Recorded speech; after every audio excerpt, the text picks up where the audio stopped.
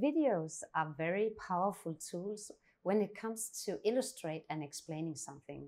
This is definitely also the true when you want to explain embryo development or characteristic associated to this. In this video, we are going to demonstrate how to export a, a, video to a format where you can save it on your computer or on a USB, or maybe include it into a presentation.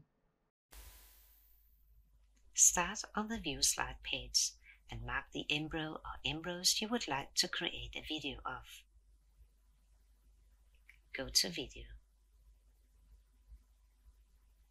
If you would like to add your own logo to the video header, choose Select Logo File. Use Head of Header to fit your logo. Add a text to the label if you want to. In the video settings, you decide the playback speed for the video. If you want to give the video to your patient, a playback speed of 5 usually works well. If you're generating a shorter video sequence to illustrate a special event in a presentation or for a lecture, we recommend you a lower speed. Consider the start and end time. The program always suggests the full length of the time-lapse video, but you may want only a part of it press generate to generate the video and save it in the location you want.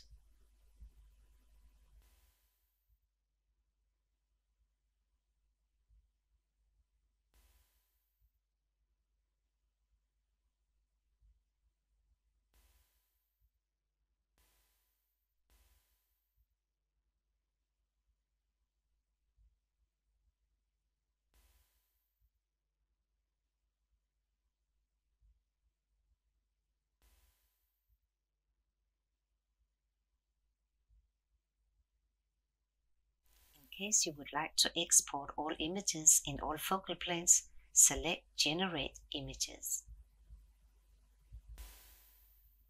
And in Image Settings, select Generate All Focal Planes.